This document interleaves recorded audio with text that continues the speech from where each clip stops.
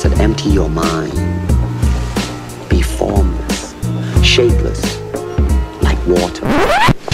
Now you put water into a cup, it becomes the cup. You put water into a bottle, it becomes the bottle. You put it in a teapot, it becomes the teapot. Be water, my friend.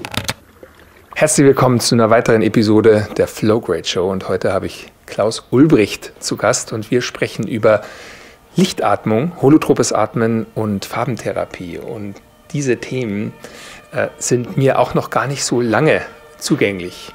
Und ich kam damit das erste Mal auch in Berührung durch Klaus. Ich war hier äh, bei einer Session Holotropen Atmen und war absolut fasziniert davon. Also ich ging da raus und äh, ich, mein, mein kompletter Geisteszustand hat sich wirklich verändert und deswegen wollte ich dich auch unbedingt hier im Podcast haben, weil dieser Zustand war für mich so ähnlich wie so ein erhöhter äh, Geisteszustand, den wir Flow nennen und die Flow Show geht um Flow und deswegen herzlich willkommen in der Show. Vielen Dank, dass du da bist. Ja, danke schön, danke dir.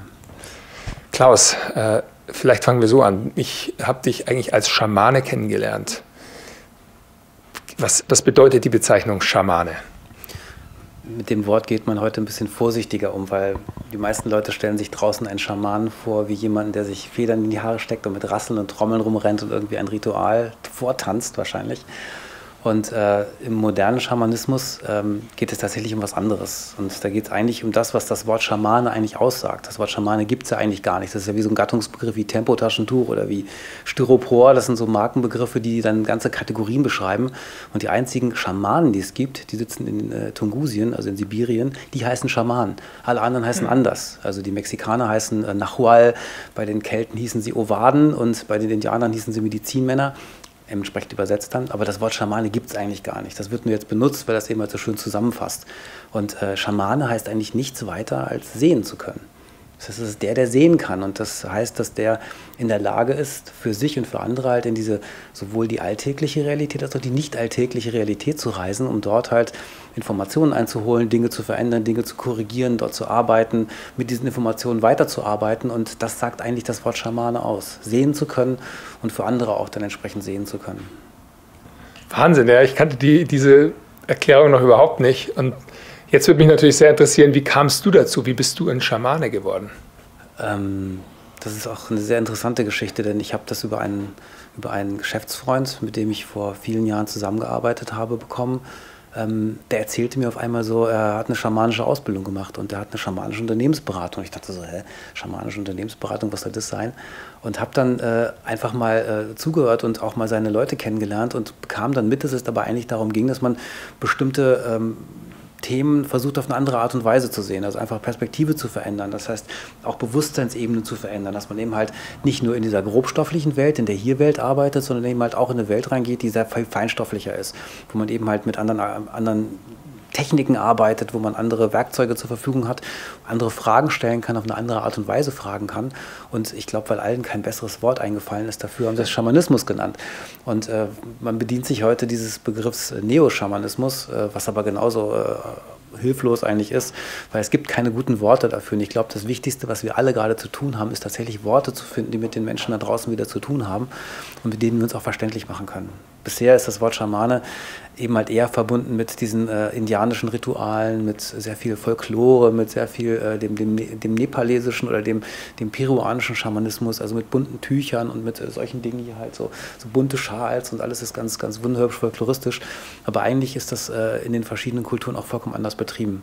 Mhm. Ich zum Beispiel habe mich ausbilden lassen in einer, äh, in einer Mischung aus peruanischem und nepalesischem Schamanismus über zwei Jahre da habe ich eigentlich sehr diesen folkloristischen, schamanischen Teil gelernt. Sehr viel mit Trommeln. Also die Trommeltrance hat eine große Rolle gespielt. Und all die ganzen, in allen schamanischen Disziplinen halt vorhandenen äh, äh Tools oder Techniken wie Seelenrückholung oder Seelenleite. Bei den, bei den äh, Kelten gab es halt die Seelenleite, wo halt die Verstorbenen ins Jenseits geführt wurden. Oder Seelenrückholung äh, ist halt auch eine Sache, die dann in der modernen Psychologie wieder eine Rolle gespielt hat, wo man eben halt sagt, man sammelt verloren gegangene Anteile eines Menschen wieder ein. Das gibt es seit 20, 30.000 Jahren, das Konzept. Äh, das sind alles, was wir heute in der, in der, Psychologie haben, alles Remakes. Alles Remakes von schamanischen Praktiken. Und ähm, die äh, unterschiedlichen Traditionen, die da vor 20, 30.000 Jahren begonnen haben, an völlig verschiedenen Orten der Welt, ohne sich zu kennen, ohne sich zu sprechen, ihre Techniken zu entwickeln, haben alle das Gleiche gemacht. Die haben sich alle gesagt, es gibt diese Welt und irgendwo gibt es vermutlich noch eine andere Welt. Und diese andere Welt teilen wir mal auf in oben, unten und die Mitte. Oben war das Übersinnliche, unten war so das Unterirdische, das, das Erdige, das, das, das Unterbewusstsein. Und in der Mitte war halt dann so die beseelte Natur. Und jeder hat da andere Worte für gehabt, aber im Großen und Ganzen war das überall das Gleiche.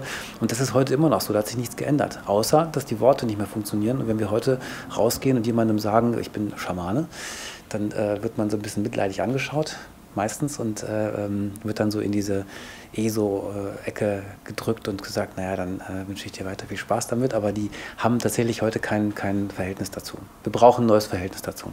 Absolut, ja. Ich glaube auch wirklich, die Leute denken, es ist so ein so Wuhu, würde man sagen heute. Und äh, der, derweil, also auch in unserem Bereich Biohacking, äh, hat der Schamanismus durchaus äh, seinen Platz und äh, auch teilweise wirklich in der Wissenschaft. Also es sind ja wissenschaftliche Elemente, die dort auch einfließen. Also zum Beispiel, ich würde sagen, Meditation geht ja auch schon in den Bereich hinein. Gibt es denn so eine so ein Framework, wo du äh, verschiedene Unterbereiche, die du benennen kannst, die wirklich zum Schamanismus gehören? Also Unterbereiche im, im Sinne von, von äh, Disziplin eigentlich nicht, aber was es gibt, ist natürlich, es gibt verschiedene Techniken und die meisten davon sind Trance-Techniken. Das heißt also auf die verschiedenen Art und Weisen, die man in eine mehr oder weniger tiefe Trance eigentlich geraten kann. Und zwar entweder der Schamane oder sein Klient.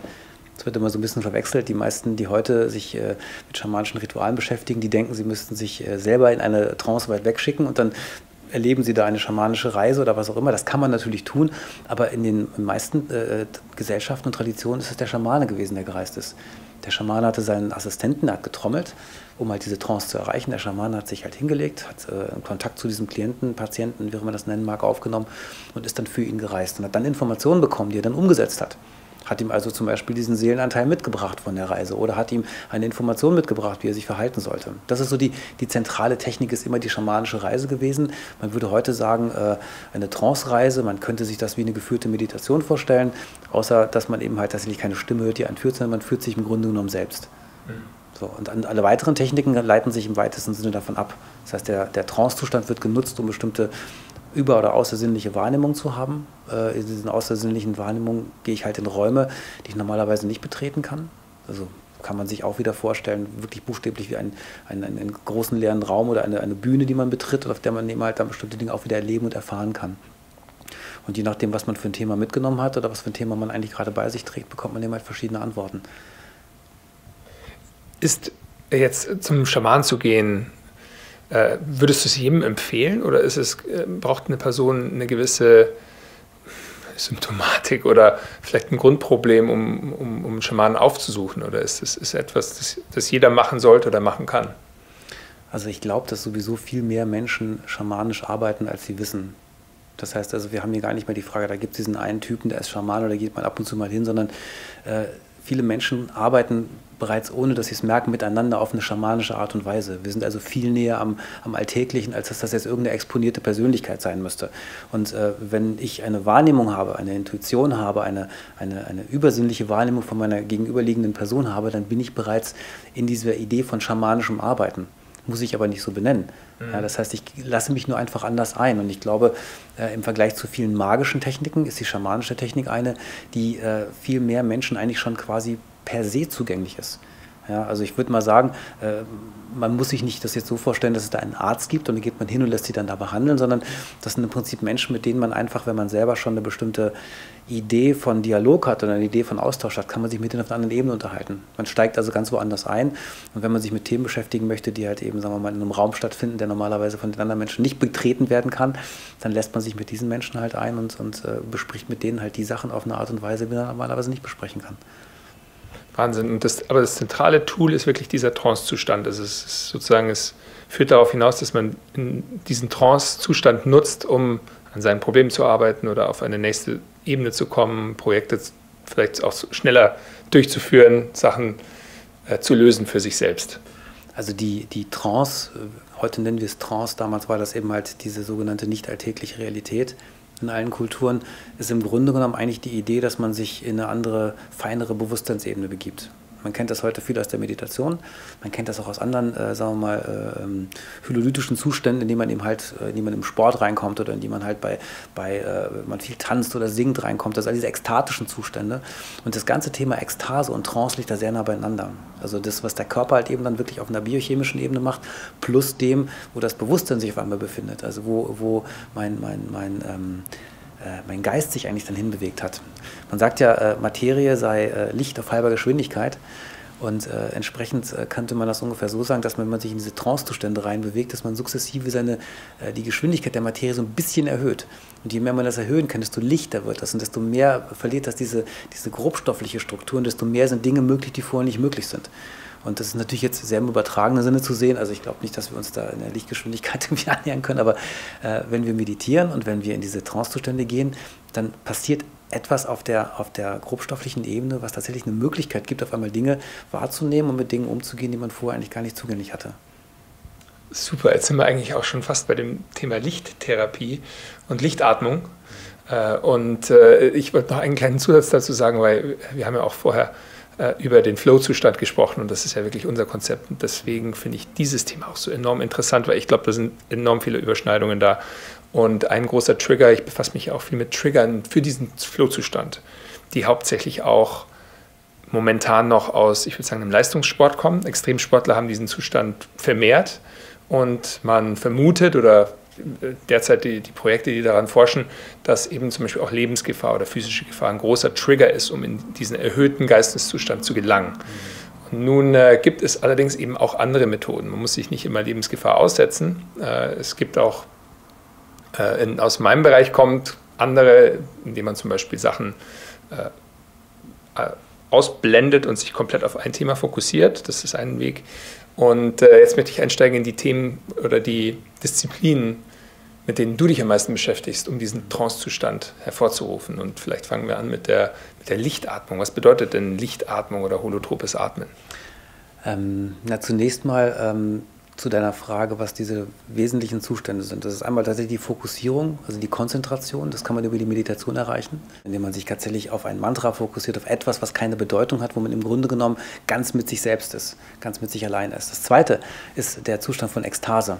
Das heißt, wenn man sich also wirklich pusht, das kann über Sport passieren, über Tanz passieren, über Gesang passieren, alles diese Praktiken, die man eben halt äh, tun kann, um seinen Körper auch mit einzusetzen. Und die Atmung verbindet das eben. Also diese sogenannte Lichtatmung, so nennen wir das, ist im Grunde genommen äh, abgeleitet aus zwei äh, großen ähm, Atemtherapieformen. Das ist einmal das holotrope Atmen, das ist ein geschützter Begriff, deswegen kann man damit nicht so frei umgehen. Wir können ah, also kein holotropes Atmen machen, sondern holotropes Atmen gehört also der, der Groff Foundation. Das ist also ein geschützter Begriff, wo Ausbildung gemacht wird über viele Jahre, die Hunderttausende von Euro kosten, nicht ganz, aber schon sehr teuer sind. Und ähm, es gibt halt den verbundenen Atem von Rüdiger Dahlke. Aber beide haben die Idee, dass man sich eben halt mit diesem Atem gezielt beschäftigt. Also man fokussiert auf den Atem und hyperventiliert dabei aber, sodass man eben halt in diesen ekstatischen Zustand kommt. Also die Mischung aus Fokussierung und ekstatischem Zustand bringt einen dann in diesen Raum, wir nennen den eben halt diesen Lichtraum, äh, ähm, wo wir eben halt dann sagen, auf einmal bekommt man halt diese Wahrnehmung, dass man merkt, dass das System äh, letztlich sich in einen Zustand gebracht hat oder wir selber das System in diesen Zustand gebracht haben, wo wir Dinge wahrnehmen können, die wir vorher nicht wahrnehmen konnten. Und jetzt kann man sich halt äh, die biochemische Seite angucken, man kann sich die, die ähm, ähm, psychologische Seite angucken. Bei jeder dieser Aspekte kommt eben halt raus, dass man sich in einen tatsächlich völlig neuen Bewusstseinszustand verbracht hat, der im Grunde dem der Meditation sehr ähnelt, nur halt viel tiefer ist. Also man fällt in eine viel tiefere Trance. Ist es denn, äh, ich hatte auch die Erfahrung, als ich es äh, hier gemacht habe in der Gruppe, dass ich, äh, als ich am Ende die Augen geöffnet habe, den Eindruck hatte, es ist ganz hell und dann öffne ich die Augen und es ist dunkel. Warum ist das so? Warum hat man dieses Gefühl, dass es so hell ist? Ist es tatsächlich ein physiologischer Prozess oder vielleicht auch hängt es zusammen mit, dass es kommuniziert wird als Lichtatmung? Ehrlich gesagt weiß ich das gar nicht. Wir haben nur immer wieder äh, Situationen erlebt, wo uns Menschen in den Atmungen gesagt haben, Mensch, und dann war der Moment, wo die dann kamt und uns mit den Taschenlampen in die Augen geleuchtet hat. Das hat mir so unglaublich gefallen. Das hat so ein, war so ein toller Effekt. Und ich gesagt, wir hatten keine Taschenlampen. Also das scheint auch auf der physiologischen Ebene was zu passieren ich kann dir nicht genau sagen, woran das liegt. Das müsste man mal erforschen. Wir haben dazu auch jetzt vor äh, ein paar Monaten begonnen, eine Studie aufzusetzen. Das heißt, wir erforschen gerade diese ganze Atemidee, äh, dass wir halt sagen, wir äh, machen mit Testgruppen unterschiedliche Settings von Atmung, ähm, schauen uns dabei an, wie sich diese Menschen in diesen Atmungen einmal rein subjektiv fühlen, gucken uns aber auch objektive Messwerte an, gucken uns Gehirnfunktionen an, gucken uns Blutwerte an, gucken uns davor und danach bestimmte Körperfunktionen an und so weiter, um halt auch mal rauszubekommen, was passiert denn eigentlich wirklich. Für die Zuhörer jetzt, die noch überhaupt keine Vorstellung haben, was jetzt genau stattfindet, kannst du ganz kurz mal sagen, was, wie beginnt so eine Lichtatmung ähm, und welche verschiedenen Prozesse werden durchlaufen? Ja. So. Also im Grunde genommen setzen wir diese Lichtatmung äh, so auf wie ein schamanisches Ritual. Das heißt, ein Ritual ist dadurch gekennzeichnet, das hat einen Anfang und ein Ende. Das heißt, wir beginnen damit, dass wir wirklich die Gruppe einsammeln, dass wir einen Raum kreieren, in dem diese Gruppe halt wirklich auch sein kann, die Menschen miteinander sein können. Denn wenn man sich in solche Prozesse reinbewegt, hat das sehr viel mit Vertrauen zu tun. Also wenn der Raum nicht vertrauensvoll ist, die Menschen nicht miteinander kontakten oder nicht klarkommen, dann passiert gar nichts. Dann ist Vorbehalt da, dann ist irgendwie Krampf da und wir suchen erstmal eine Situation oder kreieren eine Situation, die das möglich macht. Wir geben jedem den Raum, sich quasi äh, nochmal für einen Augenblick äh, vorzustellen, anzukommen, zu landen. Äh, Im Schamanischen würde man jetzt die Talking Stick Runde dazu sagen. Äh, es kann aber auch als Check-in bezeichnet werden, dass man einfach nochmal sagt, so, alles was noch zu sagen ist, raus damit, um wirklich anzukommen, um sie als Teil einer Runde zu fühlen. Ähm, wir machen dann ein bisschen Körperübungen, also das heißt, äh, das sind yogische Übungen, die halt so ein bisschen tatsächlich Oberkörper befreien, äh, die, die, Bewegungsfähigkeit des, des, äh, der Brust und des Unterkörpers im Prinzip eigentlich herstellen, dass man eben halt wirklich frei und voll und tief atmen kann. Und ähm, schicken dann die Atmer für einen Zeitraum von einer bis anderthalb Stunden in eine musikalische Dramaturgie. Das sind unterschiedliche Settings, die können entweder ganz schnell losgehen oder langsam reinschweben und dann zu einem Plateau kommen, wo es dann ganz schnell ist und ganz überbordend und dann langsam wieder abfallen. Und die sind einerseits dazu da, dass man eben halt ähm, langsam diesen Zustand aufbaut oder eben halt schnell, je nachdem, was man für ein Thema hat. Und äh, in diesen Räumen, die man dann schnell oder langsam kreiert, eben halt sich aufhalten und arbeiten kann. Die Musik ist dabei einerseits Vorgabe des Rhythmus, der Atemgeschwindigkeit, andererseits aber eben halt auch Teil der, der Suggestionsarbeit, die dabei stattfindet, nämlich dass man bestimmte emotionale Prozesse an, antriggert, dass man halt versucht, ähm, besonders traurig, besonders fröhlich, äh, aggressiv, wütend, also bestimmte wirklich starke Emotionen herzustellen. Mit, der Musik. Über die Musik, über die Musik und teilweise auch durch, durch ähm, Reinsprechen in die Gruppe, dass man eben halt ähm, nicht nur auffordert, immer wieder voll und tief zu atmen, sondern eben halt tatsächlich auch reingibt, ähm, wie geht es deinem Herz? Reinfragt und ähm, einfach auch tatsächlich versucht, damit ähm, bestimmte Prozesse zu unterstützen. Im holotropen Atmen ist das so ähnlich. Ähm, da sind diese Atemsettings eben halt über mehrere Stunden, über drei Stunden. Und ähm, da ist es dann so, dass ein Patient, in dem Fall ist es wirklich eher ein Patient, zumindest nach meinem Verständnis, mit seinem eigenen Gegenüber, seinem Sitter zusammenarbeitet und die Idee, wenn jemand in seine Prozesse kommt und nicht weiterkommt und festhängt und irgendwelche Blockaden spürt, gibt der Sitter noch mehr Druck rein. Das heißt, er geht wirklich drauf und drückt körperlich auf diese Person, um halt ihn so lange tatsächlich auch zu malträtieren, würde ich sagen, bis halt eben auch dann das ausbrechen kann. Das muss nicht immer so sein, aber das ist eine Technik und äh, wir machen das eben halt sehr viel subtiler. Das heißt, wir gehen in dem Moment, wo sich jemand äh, in seinen Prozessen festhängt, versteckt, äh, wieder mal, wie er das so oft vielleicht schon vorher gemacht hat, eingegraben oder verlaufen hat, gehen wir sehr vorsichtig rein. Wir gehen dann nämlich entweder rein, indem wir tatsächlich mit Körperarbeit, ähm, das kann halt eben aus der Greenberg, das kann aus, der, aus, der, aus dem geistigen Heilen sein, halt eben einfach energetisch reinzugehen, indem wir dann wirklich Hand auflegen oder indem wir halt wirklich nur versuchen, ihn ein wenig in Bewegung zu setzen. Oder wir machen das eben halt über Aurasoma. Das ist äh, ein, ein, ein Farb- und, und äh, olfaktorisches Konzept, wo man eben halt äh, die mit diesen jeweiligen Farben verbundenen ähm, Aspekte in diesen, an diesen Menschen im Moment weitergibt. Das heißt also, könnte man sich so vorstellen, ähm, man hat 30 verschiedene Farben. Jede Farbe wäre im Grunde genommen ungefähr den Chakren zugeordnet. Und wenn ich jetzt jemanden habe, der dem partout was im Hals steckt, dann ist die Wahrscheinlichkeit, dass ich dem in seinem Kehlchakra unter Umständen auch mit einer, mit einer Blaufarbe helfen kann, sehr groß. Das ist mal ganz verkürzt dargestellt. Und da gibt es eben halt eben verschiedene Konzepte, die man anwenden kann, wo man eben halt Menschen dabei unterstützen kann, in ihren Prozessen selber klarzukommen, ohne dass ich direkt eingreifen muss. Das ist, finde ich, super spannend und das hab, hatte ich ja auch miterlebt. Du hast ja auch hier verschiedene Farbentöne jetzt. Für die äh, Zuhörer, die nur hören, die sehen das jetzt nicht, aber hier am Boden liegen kleine Fläschchen, würde ich sagen. 30 Stück. 30 Stück von verschiedenen Farben. Und diese, dieses Thema von Farbentherapie, das ist für mich äh, auch noch relativ neu. Und äh, es, es geht aber darum, dass Farben verschiedenen, ist es Eigenschaften oder Emotionen zugeordnet werden in dem Falle? Oder wofür steht eine Farbe? Also die Farben selber sind ähm, ähm, eigentlich Gesamtkonzepte, die bestehen aus, äh, oder die, die, die wenden sich im Grunde genommen an, an äh, bestimmte Themen. Das heißt also, wenn man jetzt ähm, mal äh, das in zwei Teile aufteilt, diese 30 Farben, die wir vor uns liegen haben, das sind die sogenannten Pomander und die Quintessenzen. Das ist nur ein kleiner Ausschnitt der Aurasoma-Arbeit, eigentlich der, der für die therapeutische, zumindest von meinem Verständnis der therapeutische Arbeit sich am besten einsetzen lässt.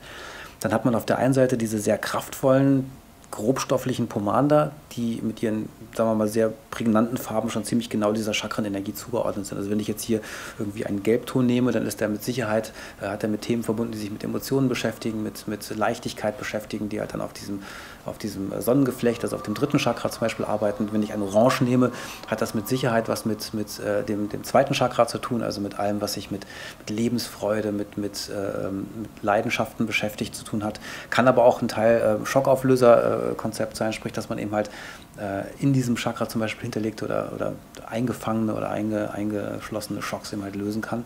Und so kann man sich eben halt über diese Farben auch durch diese Chakrenebenen durcharbeiten. Diese Quintessenzen, die etwas leichteren äh, Farben, die du jetzt auch da auf der linken Seite sehen kannst, mhm. ist im Grunde genommen ähm, ähnlich, nur die befinden sich für uns eher auf einer feinstofflicheren Ebene. Das heißt, wir sind hier ähnlich wie das auch, wie ich es beim Schamanischen vorhin gesagt habe, wir haben hier die untere und die obere Welt, also die, die grobstofflichere, die, die unterirdischen, die, die tatsächlich groben und, und äh, körpernahen Themen und wir haben die etwas weniger körpernahen Themen, die sich in diesen etwas, sag mal, dem, dem physischen Körper entfernteren Welten eigentlich aufhalten, aber eben halt den längeren Hebel auch darstellen, weil sie halt eben tatsächlich auf einer Ebene wirken, wo halt eben der Körper in seiner untersten Struktur halt eben am allerwenigsten eigentlich ähm, bewegen kann. Wow. Jetzt sagen wir mal, jemand würde Kraft brauchen oder würde äh, zusammensacken während so einer Lichtatmung. Welche Farbe würdest du dann verwenden? Also ähm, aus der schamanischen Sicht gucke ich mir immer erstmal warum sagt der zusammen? Sagt der zusammen, weil er erschöpft ist, weil er eine lange, anstrengende Woche hinter sich hat? Sagt der zusammen, weil er vielleicht einfach schlichtweg äh, ähm, keine Verbindung mehr zu seinem Wurzelchakra hat und sowieso schon die ganze Zeit geflogen ist und keine Verbindung mehr hat? Und ähm, wenn er jetzt, sagen wir mal, ausgelaugt ist von der Woche, dann würde ich ihm wahrscheinlich Magenta geben und würde versuchen, das System wieder quasi mit einer Energie aufzuladen, die tatsächlich einfach regenerierend ist. Und bei dem Rot, das ist eher so eine vitalisierende Energie, die bestärkt sein Wurzelchakra, die würde ihm also eher dann die Art von Energie geben, dass er danach wahrscheinlich äh, lange Zeit nicht schlafen braucht oder nicht schlafen kann. Wow, das ist wirklich super spannend. Vielleicht nochmal ganz kurz zur Erklärung, was ist denn eigentlich ein Chakra? Also die Chakrensysteme, äh, beziehungsweise der Mensch, man sagt, dass der Mensch sich in seiner, seiner ähm, energetischen Darstellung äh, in seiner zweiten Körperebene, dem, dem Ätherkörper, über Chakren darstellt. Das heißt, wir haben unten den, den physischen Körper und in der nächsten Ebene, dem Ätherkörper, kann ich diese Chakren halt messen. Das sind Energiewirbel, die für die verschiedenen Bereiche des Körpers stehen und die drehen sich in eine bestimmte Richtung und haben eine bestimmte Farbgebung. Und da gibt es halt in der Welt zig verschiedene Chakrensysteme, äh, wobei sie eigentlich ein Chakrasystem, also in der Darstellung, als das, was man halt im weitesten Sinne aus dem Indischen kennt, durchgesetzt hat, eben halt diese sogenannten sieben Chakren, also die vom Wurzelchakra bis zum Kronenchakra. Mhm durchgängig im Grunde genommen sowohl äh, bestimmte Körperthemen als auch bestimmte mental-emotional Themen eigentlich darstellen. Und man sagt, dass äh, ein Mensch äh, jeweils alle sieben Jahre ein Chakra quasi aufbaut. Also jemand, der 49 Jahre alt ist, hat eben halt sieben Jahre lang sieben Chakren aufgebaut, der ist dann fertig. Also ich habe jetzt in fünf Tagen Geburtstag, dann habe ich meine 49. Geburtstag und meine sieben Chakren Ach, aufgebaut okay. und habe dann wahrscheinlich endlich mal einen vollständigen Zustand erreicht. Und dann gibt es eben halt noch einen Haufen Nebenchakren, die befinden sich in den Gelenken, Schulter, Ellbogengelenk, Handgelenke, also Hüftgelenke. Die sieben Hauptchakren also die sieben Hauptchakren, die befinden sich, also das Wurzelchakra befindet sich jetzt wirklich äh, an der Wurzel, quasi im Schritt, im, im, Genitalbereich. Das zweite Chakra ist dann das Sakralchakra, also das, was eben halt für Lebensfreude, Sexualität steht. Das befindet sich halt ungefähr zwischen Bauchnabel und, und äh, Geschlecht. Dann gibt es eben halt das Sonnengeflecht, das dritte Chakra, das ist gelb. Mhm. Das steht halt für sämtliche Themen, die sich mit den Emotionen beschäftigen, die aber auch Lebensfreude, Leichtigkeit eigentlich bedeuten. Ich habe dann ähm, das Herzchakra, das ist mit den Farben Grün und, und äh, Rosa verbunden. Das ist halt äh, Grün gleichzeitig aber auch für Raum, für sich öffnen zu können. Äh, Rosa, die Farbe der Liebe, kennt man ja, ist ja schon sehr, sehr ähm, bekannt als Farbe. Ähm, dann haben wir das Kehlchakra, das ist hellblau. Ähm, alles, was Ausdruck angeht, alles, was, was ähm, sich äußern, Kommunikation angeht. Ich habe mit dem dritten Auge dunkelblau, äh, habe da die Farbe der Feinfühligkeit, der Sensitivität äh, und auch der, der übersinnlichen Wahrnehmung. Und ich habe mit Violett das Kronenchakra, also auf dem Kopf oben, habe ich die Farbe, die halt eben ähm, wie die Verbindung zu allem, also die Öffnung für, den, für, den, äh, für alles um mich herum eigentlich äh, darstellt. Und dann habe ich, wie gesagt, Schultern, Ellbogen, Handgelenke, Hüftgelenke, Knie, Knöchel, wo ich dann meine Nebenchakren habe. ähm, im Grunde hat auch jedes Organ nochmal eigene Chakren, die man abfragen kann. Und die könnte man genauso äh, mitbehandeln und genauso nachfragen und sagen halt, was fehlt dir, was möchtest du gerne haben, wie gehst du da rein. Und jemand, der schamanisch arbeitet, hat irgendwann dafür ein Gespür oder einen Blick und weiß halt eben dann, äh, was er in ein System oder eine bestimmte Stelle fast wie Akupunktur auch reingeben kann. Das wollte ich gerade fragen, ob es da einen Zusammenhang gibt mit der Akupunktur. Ähm, also ich würde mal sagen, ich verwende das tatsächlich eher wie Akupunktur. Das heißt, ich habe mir inzwischen über die vielen Jahre, die ich das benutze, eher eine Technik angewöhnt, wo ich diese ähm, Düfte nicht mehr grundsätzlich einsetze. Also ich gebe die nicht mehr weiter und sage, man macht die mal in dein äh, gesamtes Energiesystem, sondern ich setze die sehr gezielt ein. Das heißt, ich äh, überprüfe halt ganz genau, welche Farbe wohin vielleicht sogar wie oft und in welcher Menge eigentlich gehört und der Effekt ist tatsächlich nochmal ein anderer. Das heißt, man kann das generell als eine Art von äh, Anwesenheit einer Idee betrachten. Das heißt, jemand nimmt das mit, trägt es bei sich, hat das dann bei sich und hat eben halt dann auch dieses Thema anwesend. Oder halt eben, man gibt eine kleine Portion, vielleicht einen Tropfen auf eine bestimmte Stelle und der Effekt ist tatsächlich der, dass sich wirklich Dinge auflösen. Ich habe da so die abenteuerlichsten, abenteuerlichsten Dinge schon erlebt, selber, selber überrascht, was, was man machen kann. Und äh, es gab da so ein schönes Beispiel, ein Freund von mir, der, oh ja, der, sein, der, sein, Leben lang eigentlich immer Probleme hatte mit Tablettenschlucken, hatte also immer so eine, so eine Phobie vor Antibiotikatabletten. Und immer wenn er dann seine Vitamin D-Präparate zum Beispiel geschluckt hat, dann war das für den ein Problem, die runterzuschlucken. Es ging einfach nicht. Und irgendwann war mir das wirklich zu blöd. Und dann habe ich gesagt, du lass, lass uns mal kurz gucken, vielleicht finden wir einen Weg, dass dir das irgendwie erleichtert wird. Und dann habe ich mich hingesetzt mit ihm und habe dann tatsächlich ausgependelt, äh, welche Farbe auf welche Körperstelle gehört und war dann ganz überrascht, dass ich eine, konkrete Farbe auf eine ganz konkrete Körperstelle bekommen habe. Auch nach mehrmaligem Nachprüfen dachte ich mir so, okay, probiere ich aus. Und dann habe ich mir tatsächlich einen Tropfen von einer bestimmten Aurasoma-Farbe auf, auf seinen Scheitel gemacht, auf einen bestimmten Punkt seines Scheitels gemacht. Und ähm, nicht nur, dass er in dem Moment, er hat ja noch die Tabletten im Mund, die direkt runterschlucken konnte, sondern er schrieb mir am nächsten Tag aus, dazu, ich habe gerade im Zug gesessen, habe gerade meine zweite Portion Vitamin D3 genommen und es ist weg, es ist nicht mehr da. Ich weiß nicht, wo es hin ist, aber es ist nicht mehr da was auch immer passiert ist, Placebo, äh, Aurasoma, was auch immer, ist egal. Weil die Schamanen sagen, was heilt, hat recht. Und wie auch immer das zustande gekommen ist, äh, es scheint zumindest ein Weg gewesen zu sein, wie man eben halt dieses Thema auflösen kann. Wahnsinn, ja, das ist ähnlich wie was die Biohacker sagen. Die Biohacker sagen, alles ist Feedback. Ja. Und wenn, wenn etwas funktioniert, dann ist das Feedback.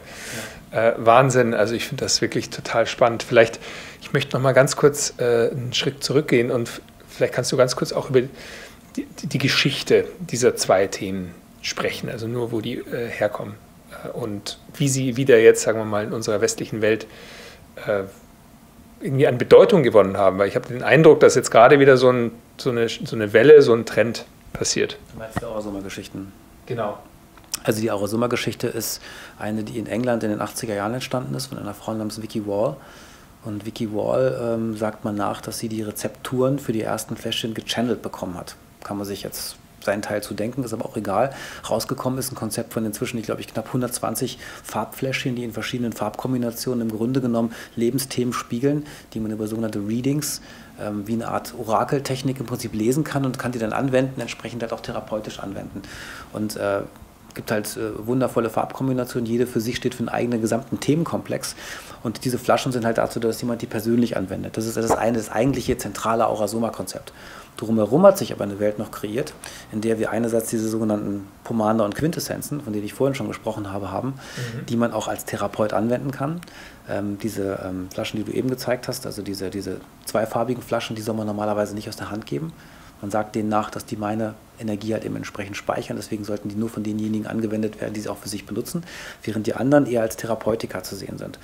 Und ähm, das habe ich dann irgendwie 1991, habe mir das meine damalige Freundin in, in, äh, im Studium, ich habe damals Design an der Kunsthochschule studiert und äh, wir haben angefangen rum zu experimentieren mit allen möglichen Sachen. Dann brachte sie mir so einen ganzen Stapel von diesen Fläschchen und sagte so, das müssen wir mal ausprobieren. Und ähm, wir haben das dann sehr äh, intensiv eingesetzt. Also wir haben viel Weißes auch als Sommer eingesetzt, um Räume zu klären, um zum Beispiel äh, für kreative Prozesse bestimmte Räume vorzubereiten. Oder wir haben Orange eingesetzt, um tatsächlich eben halt äh, bestimmte Aspekte von, von äh, Euphorie, Lebensfreude zu triggern und, und so weiter. Also da gab es halt ganz verschiedene Sachen. Wir haben sehr viel Türkis eingesetzt, wenn es darum ging, wirklich kreativ zu arbeiten. Wenn kreativer Ausdruck wichtig war, haben wir halt, äh, haben wir halt dieses, diese ähm, Türkistöne halt äh, sowohl in der Gestaltung als eben halt auch als Aurasoma-Essenzen angewendet und so weiter diese Korrelation zwischen dem, was wir im Farbdesign gelernt hatten, plus dem, was halt diese Fläschchen mitgebracht haben, war so intensiv, dass wir irgendwann gemerkt haben, dass da wirklich mehr hintersteckt. Und so habe ich das über die Jahre halt eben dann tatsächlich immer mehr und mehr und mehr in meine Arbeit eingebaut. eigentlich nicht drüber gesprochen, das war immer so sehr im Verborgenen, das war also kein, kein äh, Präsentationskonzept, wo ich jetzt gesagt hätte, Mensch, hier guckt mal, was ich hier Tolles mache, sondern ich habe es immer einfach nur benutzt für mich. Ich habe das verschenkt, habe das abgefüllt und mal jemandem was mitgegeben, also hier probieren wir dies, probieren wir das aus bis dann eben halt vor ein paar Jahren wirklich gemerkt habe, dass es ein starkes Therapeutikum ist. Und das ging dann so weit, dass ich äh, vor drei Jahren, nachdem die, nachdem die Desensibilisierungstherapie bei meinem Sohn für seinen Heuschnupfen nicht angeschlagen hat, ich gesagt, jetzt reicht es mir, jetzt mache ich das selbst. Und habe dann einfach ihn mit Aurasoma, in dem Fall äh, viel mit Türkis unter anderem behandelt, äh, einfach schlichtweg in diesem Jahr zum ersten Mal erlebt habe, dass er keinen Heuschnupfen mehr hatte. Quod erat demonstrandum. Wahnsinn. Also ich finde die Geschichten total faszinierend und äh, vielleicht, ich wie kann man sich das denn genau vorstellen, wenn du sagst, ich, du sitzt, setzt eine Farbe ein in einem Raum, um ihn vorzubereiten? Äh, wie ist da genau der Prozess? Also öffnest du das Fläschchen und äh, verbreitest den, den, den Duft? Ist, weil ich, also das ist zum Beispiel etwas, womit ich jetzt gerade noch ein Problem habe, das äh, zu kombinieren. Es ist ja zum einen, glaube ich, wirklich sensorisch olfaktorisch, also der Geruch, zum anderen die Farbe, der, der, der Sichtsinn. Wie, wie verhalten die sich zueinander? Also ich sage immer am liebsten dazu, ähm, wichtig ist immer die Anwesenheit einer Idee. Das heißt, ob du die sehen kannst oder nicht sehen kannst, ist eigentlich ganz egal. Äh, Menschen stellen sich Blumen in einen Raum oder einen Stein oder legen eine Musik auf. Das sind alles Sachen, die man nur an bestimmten Stellen in bestimmter Art und Weise wahrnehmen kann. Eine Musik verteile ich nicht im Raum, die verteilt sich eigentlich selbst. Und ähm, es gibt ja auch im Schamanischen wiederum sehr viele Konzepte zum, zum Clearing von Orten, von von äh, Räumen, wo halt eben tatsächlich äh, Räucherungen eingesetzt werden, um ähm, Räume zu reinigen. Also wenn ein Raum irgendwie verpestet ist, kann man sich jetzt auf energetischer Ebene vorstellen, hat, hat irgendwas stattgefunden, was da nicht hätte stattfinden sollen dann kann man diesen Raum ausräuchern. Man sagt auch, das Wort ausräuchern kennt man ja aus, aus dem genau, Umgangssprachlichen. Dann geht man da rein, nimmt Salbei zum Beispiel, dann nimmt irgendwie äh, Palo Santo und räuchert diesen Raum mal so richtig durch. Salbei ist zum Beispiel ein gutes Mittel, um wirklich auch äh, schwere Energien aus dem Raum rauszuräuchern. Mit dem Aurasoma verhält sich es ähnlich, nur dass das Aurasoma ähm, eher eingesetzt wird, um Räume wieder aufzuladen. Das heißt also, man nutzt dann einen quasi vorbereiteten, geräucherten Raum und gibt dann eben halt diesen Duft einfach in diesen Raum rein, verteilt den, fächern den rum oder manchmal sprühen wir einfach jemanden damit ein oder lassen es einfach nur rumstehen. Das hat einfach diesen Effekt, dass man das sehr subtil wahrnimmt. Ja, und unsere menschlichen Sinne sind ja eher grob, die kriegen davon nur einen bestimmten kleinen Teil mit, nämlich diesen tatsächlich olfaktorischen Teil, eventuell den sensorischen, also den, den, den Farbaspekt, aber den tatsächlichen energetischen Teil, den können wir mit diesen wenigen Sinnen, die wir da, sagen wir mal, bewusst zur Verfügung haben, nicht wahrnehmen. Aber wenn ich mich dann in einen Zustand begebe, in dem ich mehr Sinne zur Verfügung habe, also nicht mehr nur die basalen, die groben, sondern eben halt diese feineren Sinne habe, dann wirken diese äh, äh, entsprechenden äh, Mittel und diese entsprechenden äh, Düfte halt eben nochmal auf einer anderen Ebene. Das heißt, man stellt die Anwesenheit einer weiteren Idee schlichtweg fest. Ist auf einmal da. Oder man merkt halt, dass bestimmte Sachen nochmal leichter gehen, dass bestimmte Konzepte anwesend sind, die vorher nicht anwesend waren. Kleines Beispiel, jemand, der halt in einem, in einem äh, Prozess in der Lichtatmung festhängt und sich so richtig krampft und quält, weil er irgendwas nicht überwunden bekommt, immer wieder die gleichen Gedanken denkt, immer wieder sich darin festrennt, dann geben wir da ganz gerne auch schon mal ein bisschen Gelb rein. Ich sage immer reingeben, äh, heißt also, man, man sprüht in diese Richtung, fächert das ein bisschen ein oder gibt es demjenigen auf die Hand und sagt, hier, gib das mal in dein Feld, atme das mal ein. Und das äh, hat oftmals dann den Effekt, äh, zumindest habe ich das dann immer wieder feststellen können, dass sich die Dinge irgendwo erleichtern. Ja, das ähm, mag jetzt auch hier wieder ein Teil der Suggestion sein, weiß ich gar nicht, mag ich gar nicht beurteilen, aber auf jeden Fall findet es statt, immer wieder. Und diese Effekte nutzen wir halt und da wir das jetzt seit vielen Jahren machen, wissen wir natürlich auch entsprechend, welche Farben und welche Farbwelten sich eben halt wie auswirken können. Ja, ich bin da immer ein bisschen vorsichtig mit dem, äh, äh der Idee eines Therapeutikums. Wir haben hier tatsächlich eben halt Unterstützung. Ja, und der eine nimmt die eben halt stärker, der andere weniger stark wahr, so wie das eben halt bei manchen Menschen ist, die sehr stark auf ihr Sehen fixiert sind, aufs Riechen fixiert sind. Manche können das eben halt ganz anders auch wahrnehmen oder haben dafür eine viel größere Affinität. Und da funktioniert es viel schneller oder viel stärker. Ich fand vor allem äh, faszinierend, du hast ja diesen einen Versuch gemacht, äh, wo du die Farbe hinter deinem Rücken hattest und die Person gefragt hast, welche Farbe glaubst du denn, habe ich dir gegeben? Und die Person hat es erraten, ich glaube, es war hellblau in dem Falle. Äh, und äh, alle im Raum waren sehr, sehr überzeugt auf einmal. Ja, es, ist, es ist sehr erheiternd, weil es ist tatsächlich eben halt, die Idee bleibt weiter anwesend. Und wenn man die Augen schließt, dann hat man tatsächlich manchmal auch wirklich diese, diese Farbbilder vor Augen. Also das, dass dieses, dieser Duft oder diese Energie, die man dann wirklich in seinem Feld verspürt, eben halt auch dann diesen Farbaspekt mit sich bringt. Also das ist, das ist dann einfach halt da. Ja, ist wie, wie der andere Geruch auch, wo man dem halt, man riecht irgendwas und weiß sofort, ah, Hund. so weiß man halt da, ah, hellblau. Das ist tatsächlich äh, auf einer, auf einer äh, wahrscheinlich sogar sehr basalen Ebene einfach schon vorhanden. Wahnsinn, faszinierend. Jetzt sind wir wieder zurück bei der Runde und Leute atmen intensiv und bekommen hin und wieder Hilfe, wie du sagst, durch Auflegen von Händen, durch Farben. Äh, was andere noch physiologische Erscheinungen sind, die ich auch erfahren habe, ist, dass sich zum einen die Hände in Pfötchen, in Pfötchen wandeln und äh, der, der Mund spitz wird. Was genau passiert denn da nochmal genau? Also grundsätzlich würde ich erstmal sagen, wir versuchen jeden, der atmet, eigentlich so lange wie es geht ganz alleine klarkommen zu lassen.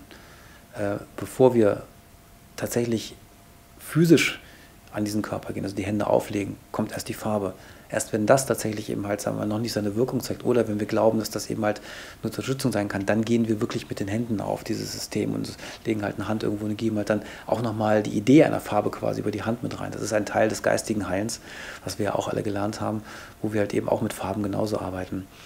Wenn wir jetzt ähm, in diesen Runden erleben, dass Menschen bestimmte Körperreaktionen haben, das können also äh, nicht nur körperliche Reaktionen, können also auch emotionale Reaktionen sein. Also Menschen können Angst bekommen, Menschen können aber mal ganz wild anfangen zu lachen oder zu schreien oder tatsächlich dieses, was du festgestellt hast, diese Pfötchenstellung der Hände, dass die sich ein, einrollen. Ähm, das sind tatsächlich, äh, ich würde fast sagen, so eine Art Übersprungshandlung des Systems. Man würde jetzt im Übertragenen sagen, da äh, staut sich irgendwas, was sich dann entweder impulsiv wieder löst. Das heißt, viele, bei vielen löst sich dann auch diese, diese äh, Pfötchenstellung auf einmal spontan wieder, ist die weg. Das ist wie, als wenn das dann abgeflossen wäre. Und so wie das eben halt auch bei Menschen ist, die da sitzen und auf einmal tatsächlich spontan losschreien oder spontan loslachen oder auf einmal aufstehen müssen. Das ist wie so eine, wie so eine Explosion, die halt da ist. Ähm, die äh, chemischen Hintergründe kann ich tatsächlich äh, jetzt gar nicht so im Detail darlegen. Das hat was mit der, mit der veränderten Chemie im Blut zu tun, die durch das äh, extreme Abatmen natürlich zu tun hat. Ähm, das überlasse ich dann bei der Erklärung lieber den. den ich, äh, das werde ich schon dann meine Hausaufgaben. Genau, du darfst das gerne nachtragen. Also gibt es tatsächlich, äh, auch in den Studien, die wir haben, gibt es darüber relativ viel, gibt da viel Literatur darüber, auch was eben halt in der Hyperventilation passiert.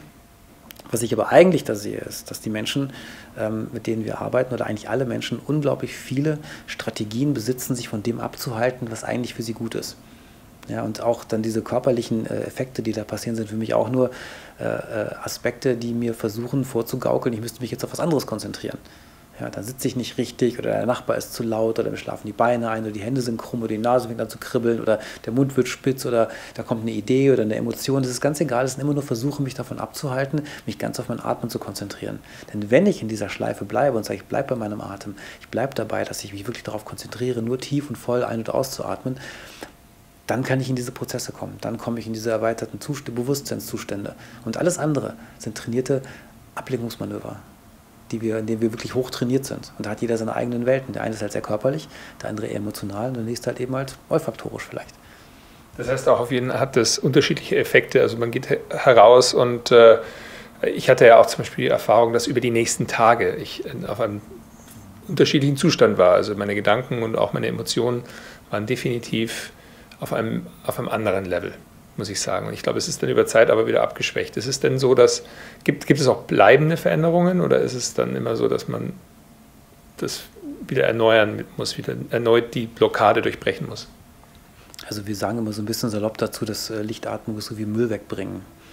Ähm, also wenn du wieder Müll ansammelst, dann musst du auch wieder Müll wegbringen. Aber schön wäre natürlich, wenn man, äh, nachdem man einen riesigen Haufen Müll mit einer ordentlichen Arbeit weggearbeitet hat, äh, sich auch bewusst wird, wie das gekommen ist, dass man diesen ganzen Müll angehäuft hat. Deswegen ist für uns eben halt im Unterschied auch zu allen anderen äh, Therapeutika oder allen anderen Atemkonzepten die Integrationsarbeit danach so wichtig. Das heißt, wir versuchen halt eben sowohl an dem Abend dann noch oder in, dem, in den jeweiligen Atemsessions darüber zu sprechen, wie kam es denn dazu, was hast du denn da für, für Dinge erlebt, wo kommt das denn her, wie, wie, wie hast du es denn erfahren?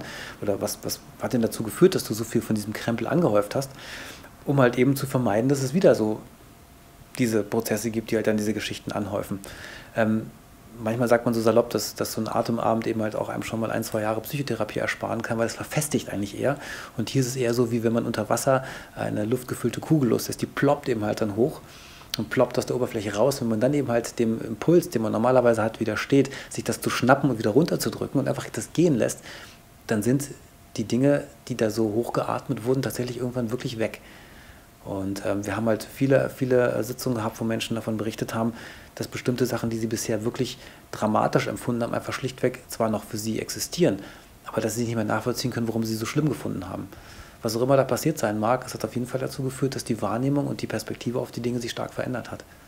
Das ist Wahnsinn. Ja, also das ist wirklich äh, auch für mich eine, eine Erfahrung gewesen, die, die ich so in der Form, glaube ich, noch nie hatte, auch in der Gemeinschaft nachher.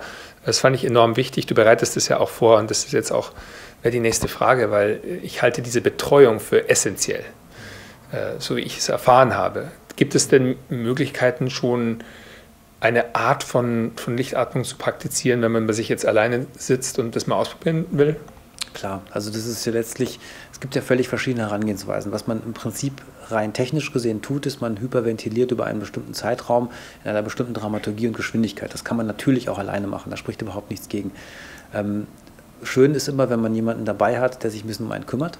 Das ist sowieso hilfreich, weil dann fühlt man sich meistens etwas wohler und etwas sicherer, weil man eben halt wirklich sich auch fallen lassen kann und der andere eben halt aufpasst. Wenn es eine große Gruppe ist, kann man zusätzlich noch die Gruppendynamik mit aufnehmen. Also in der Gruppe hat jeder für jeden was dabei. Das merkt man so in der Mitte der Atmung. Dann fängt der eine irgendwo an zu jammern, der nächste lacht und dann wird der davon motiviert und dann entstehen so bestimmte Dynamiken in der Gruppe auch. Ähm, das hat man, wenn man alleine atmet, natürlich nicht. Aber es ist tatsächlich äh, so wie, jede, wie das andere Atemkonzept, zum Beispiel der verbundene Atem von Dahlke. Ähm, das sind alles Konzepte, die man natürlich auch alleine praktizieren kann und vielleicht auch sollte, wenn man das möchte. Ähm, man muss sich immer fragen, was möchte man? Und wir haben halt die Erfahrung gemacht, dass dieses, diese, diesen Gruppenraum zu kreieren und diese, diese Situation, sagen wir mal, auch halten zu können, und miteinander zu halten und miteinander festzustellen, dass man sich auch in so eine Gruppe tatsächlich fallen lassen und sich öffnen kann, ist für viele Menschen einfach ein wesentlich entscheidenderer Faktor, als an seine eigenen Themen ranzukommen. Das heißt, die Themen findet man meistens noch, aber eben halt auch diese Themen dann in einer Gruppe auch wirklich loslassen und, und gehen lassen zu können, darüber zu sprechen, das einfach auch weggehen zu lassen, ohne dass es zu so, einem, zu so einer Stuhlkreissituation kommt, wo man sich eben halt dann in so einer Psychotherapiesitzung befindet, dem Ganzen also so was ganz Selbstverständliches, was Einfaches zu geben, was man aus so Freundeskreisen eben halt auch eher kennt, das ist was Besonderes. Und ich glaube, das macht auch den Hauptunterschied zwischen dieser Idee von Lichtatmung und diesen ganzen anderen Konzepten aus. Eine Sache, die Leute immer so ein bisschen erschreckt, ist dieses Hyperventilieren, weil äh, man, man kennt ja auch Fälle, wo Hyperventilieren eben dazu führt, dass man zum Beispiel bewusstlos wird und Leute erschreckt es immer so. Kannst du denen so ein bisschen den, den Schrecken an diesem Hyperventilieren nehmen? Naja, die Hyperventilation, die man da so kennt, die kommt ja eigentlich nicht von irgendwoher. Die hat ja meistens, ist die Bestandteil von was anderem, also meistens von Angstzuständen, von Panikattacken und die haben ja ganz andere Grundstrukturen nochmal. Das heißt also, man hat ja nicht nur einfach irgendwie mal hyperventiliert, sondern man befindet sich ja bereits in einem, sagen wir mal, Zustand, der, äh, äh in dem nicht mehr nur die Hyperventilation wirkt, sondern eben halt auch alle anderen Aspekte mitwirken.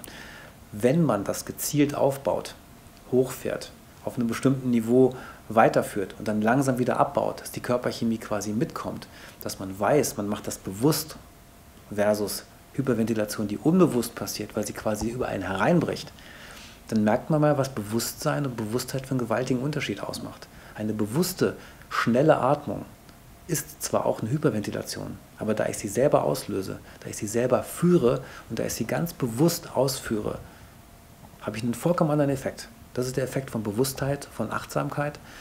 Und da kann man wieder hervorragend merken, was äh, ein und dasselbe Mittel aus verschiedenen Perspektiven für vollkommen andere Wirkung haben kann. Total interessant. Das erinnert mich gerade an, das habe ich leider gerade nicht an, aber ein Kumpel von mir aus den USA hat einen Bluetooth Elektroschocker entworfen, den man äh, verbinden kann an, äh, an, auch an seinen Computer, zum Beispiel, wenn man eine ungewollte Webseite aufmacht, Facebook, und will sich davon abhalten, dann kriegt man einen kleinen Stromschlag. Und interessanterweise, äh, da gibt es auch eine Studie äh, mit Rauchern allerdings, die sich äh, im Englischen Self-Administered Pain zufügen. Also über dieses Elektroarmband, also beim Rausziehen der, der Schachtel, äh, sich schocken, Zigarette in den Mund stecken, schocken, einen Puff schocken und so weiter. Und das ist, glaube ich, bis heute immer noch eine der erfolgreichsten Experimente, äh, mit dem Rauchen aufzuhören, eben durch den Fakt, dass die Bestrafung selbst zugeführt wird. Also das ist anscheinend essentiell. Also das hat mich jetzt nur an, an erinnert, dass es wirklich einen enormen Unterschied macht. Macht man es absichtlich oder macht man es ungewollt? Und deswegen ist es auch so, dass äh, wenn man ja, seinen Hund bestraft, nicht unmittelbar und äh, der Hund nicht weiß, warum, dann ändert sich das Verhalten auch nicht. Aber wenn man, und das ist eben so umgekehrt. Also das nochmal so als Anekdote. Ja, vielleicht dazu ganz kurz. Ähm, ich glaube, dass man sich schon immer gut überlegen muss, ob Konzepte über Strafe oder Belohnung funktionieren. Und äh, in dem Fall äh, ist unser Konzept eher eins, was über Belohnung funktioniert, weil man tatsächlich eben halt instant, also wirklich tatsächlich im selben Moment erfährt, was das für einen Unterschied macht und was eben halt der Unterschied zwischen ich falle in was rein und kann es nicht ändern und äh, fühle mich furchtbar versus äh, ich tue etwas ganz bewusst und gezielt und merke auf einmal meine Möglichkeiten und meine Potenziale. Es ist ein gewaltiger Unterschied. Wenn ich mir vorstelle, dass ich Menschen mit einem Elektroschocker davon abhalten zu rauchen, kann man natürlich machen, aber ähm, ich könnte mir auch vorstellen, dass es Belohnungssysteme gäbe, die äh, auch basal und auch sagen wir mal rein von, von, der, von der Gesamtwahrnehmung eines Menschen äh, nachhaltigeren Effekt haben könnten als Angst. Angst ist ein sehr unvorteilhaftes äh, Mittel, um Menschen zu etwas zu bringen. Konditionierung an sich ist ja, ist ja gut und schön, sehr klassisch. Wenn ich jetzt sagen wir mal, mir das Rauchen abgewöhnen möchte, dann kann ich das natürlich machen, indem ich mir irgendwie einen Nagel durch die Hand haue. Oder ich könnte auch sagen, ich finde etwas, äh, was mir erklärt, warum ich dieser Sucht fröne und finde etwas anderes, was mir hilft, äh, mich mit meinen Süchten an sich zu beschäftigen. Das ist eben mal zwei, drei Meter Ebenen höher, aber die Menschen trauen sich halt unter Umständen nicht hin oder sie kennen es noch nicht, weil sie noch zu sehr auf diesen basalen, unteren, grobstofflichen Ebenen eigentlich verhaftet sind. Dafür ist Achtsamkeit und der, die Arbeit in diesem Bewusstseinsraum halt eben ganz heilsam, wenn man da eben halt Antworten bekommt, die man vorher nicht bekommen hätte. Das finde ich total cool gerade. Und deswegen möchte ich da gleich nochmal einsetzen. Jetzt sagen wir mal, wir haben Zuhörer, die wollen unbedingt mit dem Rauchen aufhören und es fällt ihnen unglaublich schwer. Hättest du einen Tipp, wie, wie sie das überkommen können? Also ich glaube, das fängt damit an, dass man sich bewusst wird, dass man raucht. Ich glaube, dass das vielen schon gar nicht mehr bewusst ist. Es ist zwar noch ein Genuss, es ist noch da, aber es ist nicht mehr bewusst. Ähm, dann würde ich sagen, jemand, der rauchen möchte, soll unbedingt rauchen. Also wer wirklich rauchen möchte, sollte das auch tun, weil dann scheint das ja irgendwie einen Sinn und einen Nutzen zu haben. Wenn er aber nicht mehr rauchen möchte, dann sollte er sich bewusst machen, ich möchte nicht mehr rauchen und sollte anfangen, sich mal zu fragen, was er damit eigentlich kompensiert. Ja, ist natürlich jetzt äh, ähm, Oberstufenwissen. Man äh, hat sich hier nicht mit, mit äh, man, man, man, bewegt sich hier eigentlich in einem Feld, wo man ähm, eigentlich nicht über Rauchen reden müsste, sondern man müsste über die Frage reden, was ist eigentlich der Grund dafür, dass man sich mit irgendetwas ausstattet, was einem nicht gut tut, weil offensichtlich tut es einem nicht gut. Was, was überkompensiert man damit? Ähm, ich kann nur sagen, äh, man sollte sich viel mit Dingen beschäftigen, die einem Spaß machen. Man sollte viel äh, Zeit und Raum äh, für Dinge verwenden, in denen man halt einfach sich selbst und die Dinge, die einem wirklich gut tun, leben kann. Und dann haben die anderen Dinge irgendwann nicht mehr den Platz, den sie bis dahin eingenommen haben. Ja. Und wenn es um Genuss geht, wie gesagt, ich bin ein großer Freund von Genuss und von, von äh, Dingen, die in Maßen passieren, dann sollen die das wirklich gerne tun. Also keiner muss mit dem Rauchen aufhören, keiner muss mit dem Fleischessen aufhören, keiner muss mit dem Trinken aufhören, solange es eben halt bewusst und als Teil von der eigenen Fürsorge und Seelsorge stattfindet. Finde ich total interessant. Jetzt bin ich gleich beim Thema, nämlich bei dir. Äh, kleiner Shiftwechsel, weil das würde mich jetzt auch interessieren. Wenn du dich enorm gestresst fühlst oder in einer stressigen Situation, ich nehme an, es kommt hin und wieder mal vor vielleicht, was ist denn so dein, deine unmittelbare Strategie, um, um dich herauszuhieven aus so einem Loch? Ich hatte mal eine Phase, wo ich wirklich mehr gestresst war, als ich mir das gewünscht habe. Und in dieser Phase habe ich tatsächlich nicht gewusst, was ich tun soll. Da bin ich dem sehr ausgeliefert gewesen. Ich habe dann versucht, sehr viel mich um Ernährung zu kümmern. Ich habe sehr viel gebadet, ich habe sehr viel Musik gehört, ich habe sehr viel einfach nur schlichtweg ähm, mich darauf konzentriert, äh, mir bestimmte Affirmationen zu sagen. Eine davon war, ich bin jetzt hier. Das ist eine wunderschöne Affirmation, die einem wieder klar macht, man ist noch an, äh, irgendwie in, einem, in, einem, in, einer Lebenssituation, die einen irgendwie, äh, die gesund ist. Und irgendwann war ich dann da raus wieder, wie auch immer, und habe dann einfach beschlossen, dass ich mir die ganzen Sachen, die mir dann nicht einfallen, in so einem Moment einfach mal aufschreibe. Und dann habe ich mir damals ein, ich nannte das immer Erste-Hilfe-Büchlein gemacht, so albern das klingen mag, und da standen dann Sachen drin, wie welche Musik höre ich denn eigentlich gern. Weil Menschen in, in, in Ausnahmesituationen, gerade wenn sie gestresst sind, oder sagen wir mal, wenn über den Stresspunkt hinaus, gerade bei Panik, gerade bei diesen typischen sogenannten Burnout-Symptomen, äh, ähm, da weiß man nicht mehr, was einem gut tut. Ja, da hilft es auch nicht, wenn man sich davor irgendwie präpariert hat und weiß, ja, Meditation tut mir, das ist dann weg alles, das ist nicht mehr da.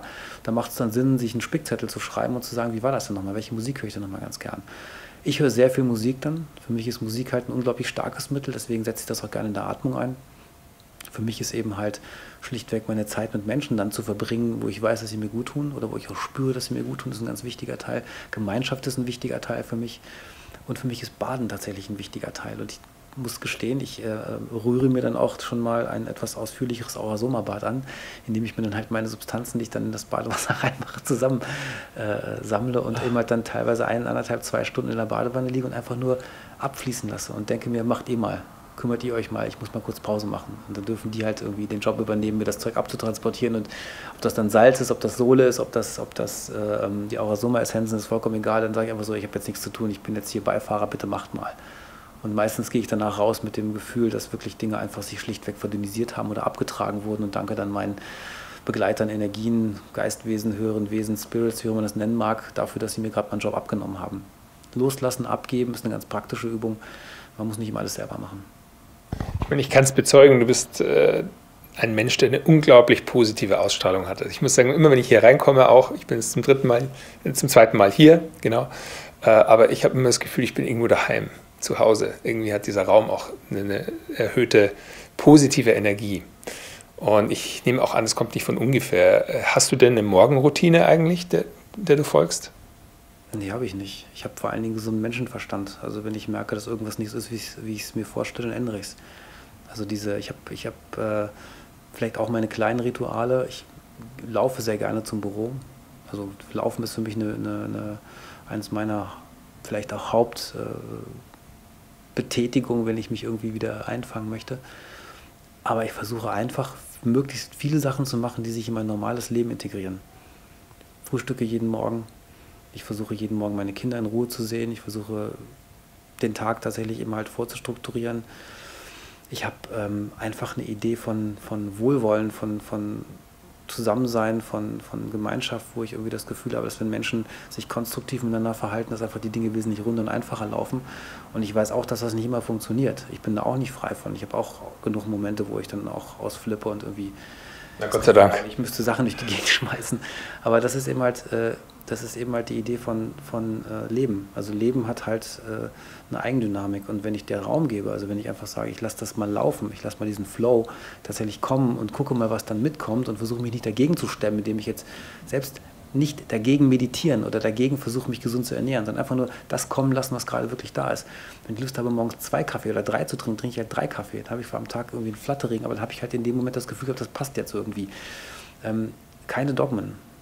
Also keine Dogmen zu haben, ist für mich einer der wichtigsten, wichtigsten äh, Dinge, um diesen Zustand auch zu halten. Immer wieder neu zu fragen, wie geht es mir denn gerade, wie soll es denn heute sein? Äh, muss es wieder so sein wie gestern? Nee, ich kann heute wieder was verändern. Und ich nenne das immer äh, Progressive Identity, also die Fähigkeit, sich jeden Tag neu zu fragen, will ich wirklich so sein? Oder kann ich irgendwas noch verändern? Möchte ich noch was verändern? Möchte ich irgendwas tun, dass ich mich wohler fühle oder dass ich, dass ich mich äh, in dem, wo ich mich gerade befinde, einfach äh, mehr mich selbst fühle. Mein äh, Vater hat immer gesagt, in leicht abgewandelter Form, so die Veränderung ist die Lust des Lebens auf sich selbst. Ja, so ungefähr. Äh, wirklich spannend. Ich wollte jetzt noch auf äh, ein Thema gehen, das wir vorhin, du hast es schon in der Hand. Du, was ist das? Das ist eins meiner zahlreichen Pendel. Und ähm, das ist eigentlich durch auch wieder so ein Zufall entstanden. Ich habe irgendwann gemerkt, dass ich äh, zu einer Zeit, wo ich tatsächlich sehr gestresst war, dass viele von meinen eigentlichen Intuitionen überlagert waren von Meinungen, von Haltung, von Stress, von all diesen Dingen.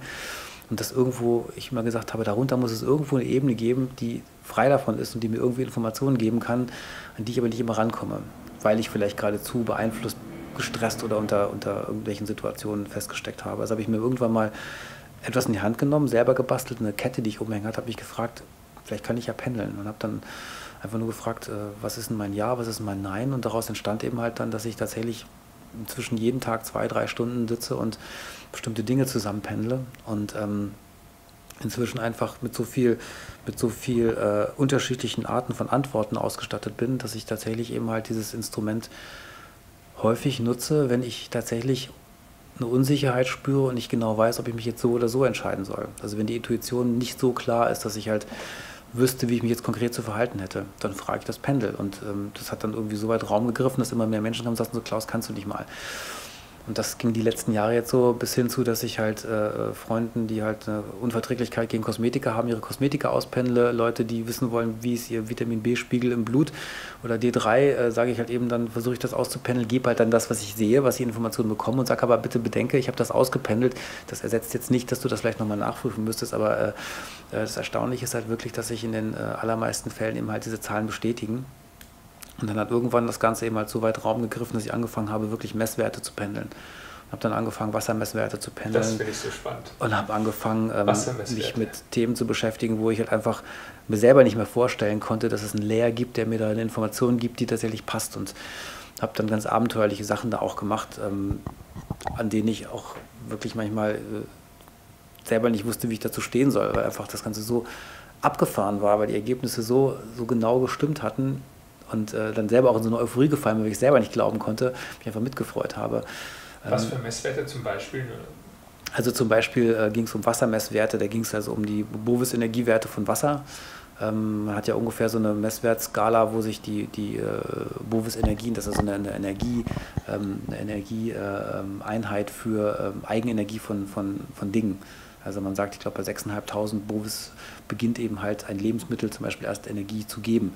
Davor ist es eben halt eins, was Energie nimmt. Also man braucht 6.500 Bovis, um überhaupt Vitalenergie zu spüren äh, oder zu bekommen. Und wenn man dann so ein Toastbrot pendelt, hat man eben halt 4.500 Bovis und wenn man eben halt dann Avocado pendelt, hat man 12.000 Bovis. Also und dann habe ich angefangen, verschiedene Heilwässer zu pendeln und habe halt dann erstmal gemerkt, dass die ganz unterschiedlich waren und habe halt dann irgendwie versucht, äh, mich durch unterschiedliche Wasserqualitäten durchzupendeln und habe dann versucht rauszukriegen, wie die Zusammenhänge zwischen Wasserwiderstandswerten, Wasserleitwerten, äh, Anteil feinstofflicher Strukturen und so weiter aussieht und wie sich das eben halt mit diesen, mit diesen äh, Energiepotenzial von diesen Wässern verhält. Und da wurde jemand darauf aufmerksam, der das für seine eigenen Zwecke gut genutzt hat oder gut nutzen konnte und habe mich dann gebeten, halt für ihn mal ein paar Tests nachzupendeln. Das habe ich dann auch gemacht. Wie, wie muss man sich das äh, vorstellen, dass, sagen wir mal, du hast eine Flasche Wasser und äh, sollst das auspendeln? Also ich habe mir für diese Zwecke, du kannst es jetzt hier sehen, das kann man natürlich jetzt nicht hören, aber ich kann ja mal so laut blättern, dass man es auch hören kann. Ich habe also ein Pendelbuch. Mhm. Ich sehe genau ein Und in diesem Pendelbuch gibt es eben halt äh, unterschiedliche Skalen. Ich habe zum Beispiel jetzt hier eine Skala, da geht es um Vitalenergie. Da habe ich das, äh, hier sieht man auch das vorhin beschriebene, äh, die Unterschiede zwischen einem, einem Genussmittel und einem, einem Lebensmittel und einem ich kann das ohne Brille nicht lesen, also energiegebenden. Und wenn ich jetzt hier mhm. sage, ich würde gerne mal wissen, äh, wie viel hat denn jetzt zum Beispiel ein, ein Weißbrot, Toastbrot, dann sieht man eben halt, das Pendel bewegt sich irgendwo in die Richtung 1000. Das heißt, man kann hier schon mal davon ausgehen, dass die Energie dieses Brotes einem unter Umständen nicht wirklich energetisch helfen kann. Wenn ich jetzt aber mal frage, was hat denn zum Beispiel eine, eine Avocado? Und sehe dann halt eben, dass das Pendel einen ganz anderen Ausschlag macht und hier halt eben schon in Richtung äh, dieser vorhin beschriebenen 11.000 bis 12.000 Bovis geht. Und man weiß jetzt eben halt schon, dass vermutlich diese... Äh, du denkst dann nur sozusagen an... Ich verbinde mich einfach nur mit diesem Gegenstand. Ich kann dir gar nicht genau sagen, was ich mache. Ich denke Avocado oder ich denke mal Weißbrot und das Pendel gibt mir eine Information. Aber zum Beispiel das Wasser, wenn du sagst, du hast verschiedene Wasser, Wasser ist ja erstmal Wasser, aber... Äh, musst du einen gewissen Bezug zu In dem Fall habe ich die Heilwässer direkt in der Hand gehabt. Also ich habe okay. mir Flaschen gemacht und habe diese Heilwässer reingepackt und ähm, habe dann in einem Fall halt eben halt auch von einer Abfüllung verschiedene Heilwässer gehabt, weil eben verschiedene Personen diese Heilwässer abgefüllt haben. Und habe dann angefangen, äh, mir wurden halt dann Kisten zugeschickt, wo halt unterschiedliche Personen diese Wasser abgefüllt hatten, ohne dass man mir gesagt hat, welche welche sind. Und ich habe die dann auseinander dividiert und gesagt, das ist von der einen Person, das ist von der Person, das ist von der Person, weil die so klar unterschiedliche Ergebnisse hatten. Und das stimmte halt. Und das war für mich natürlich dann schon so ein Moment, wo ich gedacht habe, oh wow, ähm, hier passiert gerade irgendwas, was du dir nicht vorstellen kannst. Da kann ich dann auch keine Erklärung mehr liefern. Ich habe einfach nur Ergebnisse und ich vertraue diesen Ergebnissen. Und das ist, glaube ich, für die Pendelarbeit das Wichtigste, dass man entweder dem folgt, was das Pendel einem sagt oder nicht. Wenn man Ergebnisse hat und folgt dem nicht, dann hört es wieder auf. Das ist meine Erfahrung. Dann kann ich tagelang nicht pendeln. Also wenn ich jetzt eine Frage stelle, soll ich lieber so oder lieber so und ich folge dem nicht, dann äh, ist das Pendel, ich würde fast sagen, so etwas wie eingeschnappt. Das heißt, ich bekomme dann keine, keine klaren Informationen mehr. Und so habe ich halt eben dann über die letzten Jahre in vielen Stunden hat mich alles Mögliche durchgependelt, von meinen Arasoma-Essenzen bis hin zu äh, Unternehmenskonstellationen und so weiter, also kreuz und quer und rausgefunden, dass alles eben halt eine eigene energetische Sprache hat, dass alles irgendwo sich abbilden lässt und verlasse mich tatsächlich mittlerweile sehr auf diese Pendelarbeit. Zumal das eben halt auch in meiner Arbeit des geistigen Heilens eine große Rolle spielt, wenn man nämlich die, die Richtung Chakren damit auspendelt, um halt zu sehen, ähm, wie bewegten sich die Energien. Was man dafür nimmt, ist vollkommen egal. Das ist halt wirklich Geschmackssache. Also man kann halt wirklich einen Faden nehmen und einen Stein dran binden. Das spielt überhaupt keine Rolle. Ähm, ich bevorzuge halt eine bestimmte Art von Pendeln, weil die halt eine bestimmte Art von Anzeigemöglichkeit auf diesen, auf diesen Pendelboards und diesen Pendelskalen halt haben, um es möglichst genau zu sehen. Also, besonders wenn es dann auch um Blutwerte oder auch Wasserwerte geht, ich finde das enorm spannend und wenn dann es wirklich stimmt, äh, ich würde dich unglaublich gerne mal meinen Vitamin D-Wert auspendeln lassen. Das würde ich gerne gleich tun. Das ist ja spannend. Äh, das, das, du meinst nach der Episode? Das geht ja nur dich was an. Alles klar, dann werde ich, äh, obwohl ich glaube, ich weiß meinen sogar. Also ungefähr. Ja, wenn ich irgendwas gelernt habe, dann man sollte versuchen, all diese Dinge, die man irgendwo ernst nimmt, das gilt also sowohl für die Atmerei als auch für die Heilarbeit, als auch für die Aurasoma-Arbeit, als auch für das Pendeln, nicht performativ zu betreiben. Das sind also keine, keine Shows, das ist nichts, was man irgendwo vorführt, um irgendwie äh, so ein Kuriosum zu präsentieren, sondern man sollte das mit einer bestimmten Ernsthaftigkeit machen. Und ich kann nur sagen, ähm, Fehler passieren immer dann, wenn man versucht, ähm, vom 10-Meter-Turm zum ersten Mal den dreifachen Salto vor Publikum zu machen, anstatt das für sich zu machen, sich daran zu freuen, dass es funktioniert. Und ähm, ich kann mir gut vorstellen, dass wenn ich mich hinsetze und anfange, für dich was zu pendeln, dass ich halt äh, anfange, zu sehr rein zu interpretieren genau. und dass dann Sachen rauskommen, die äh, weder mir noch dir eigentlich gefallen. Deswegen nee. ist es für mich immer ganz wichtig, dass man diesen Sachen einfach auch diesen Raum der Ernsthaftigkeit gibt. Und das gilt für die Atmung auch.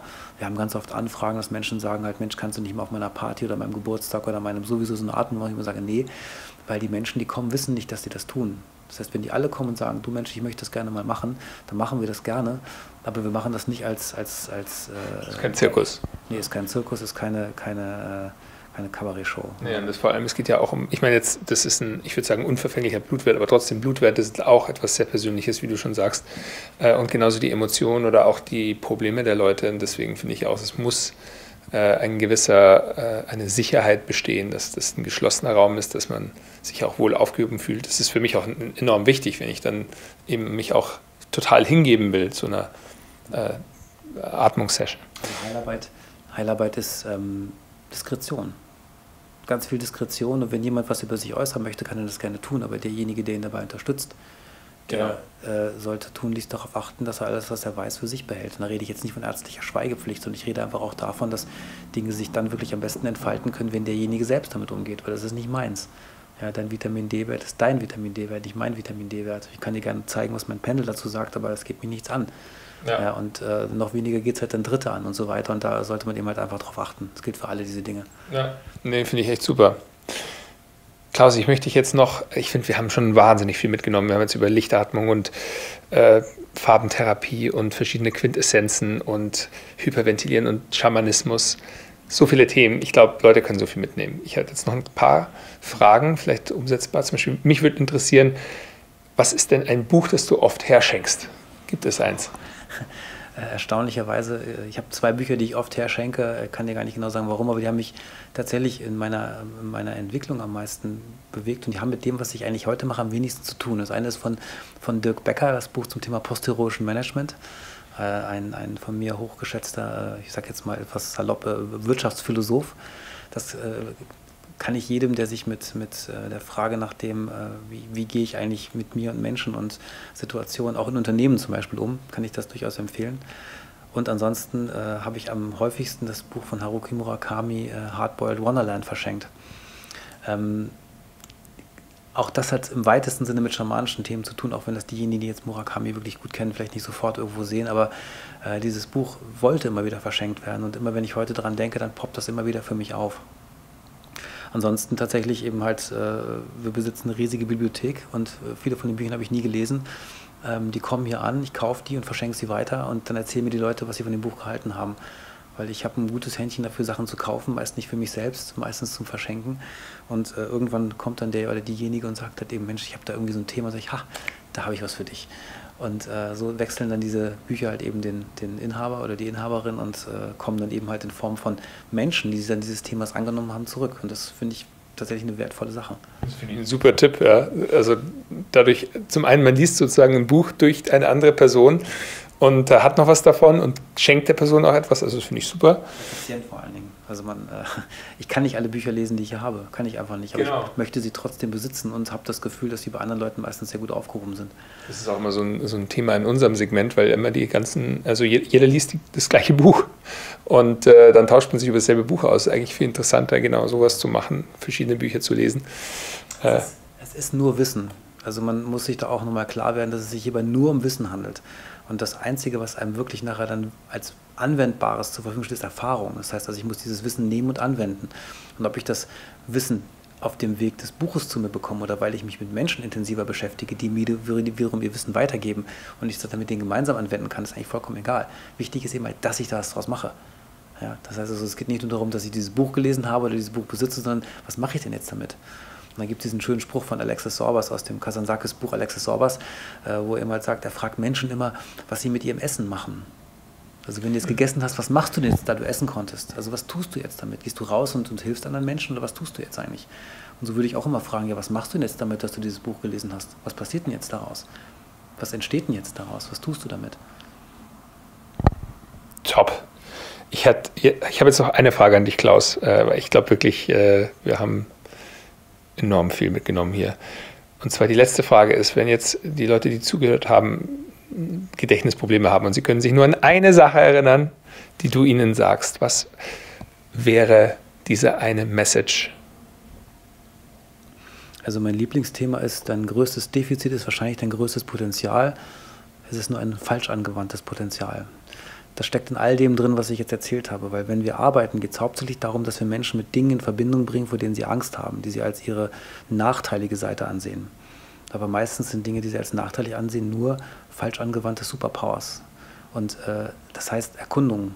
Geh bitte auf Erkundung und krieg raus, ob das, was du da als ein Makel oder als ein Defizit ansiehst, nicht in einem anderen Zusammenhang auf einmal einen riesen Vorteil darstellt.